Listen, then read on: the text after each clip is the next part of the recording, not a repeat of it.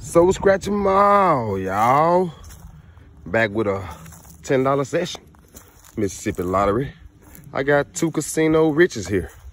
Ticket number 25, ticket number 26. Looking for cash amounts in those fast cash spots. Looking for three identical symbols or that 5X. And we get five times the cash. Never found the 5X. Looking for it. Let's see what we can do today. We got 12 tries on each ticket. Let's see, can we get one, or two, or three, four? All of them if possible. So yeah, be right back with the results. Hang tight with your boy. Found some fast cash as soon as I started scratching this baby. Never found that fast cash. Now see how it goes. That's a five right there.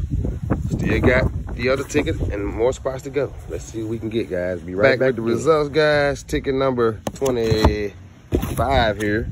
Got a fast cash five dollar break even there. But I got a back to back, y'all, back to back.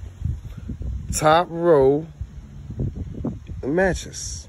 Three popcorns, three ice creams. Let's see what this treat got for us today. Hold on tight right there. I'm gonna scratch it and see what we got. Three popcorn, four. Let's get it popping. Let's get it popping. Is that a small zero. Yep, it is. Five dollars right there. And ice cream for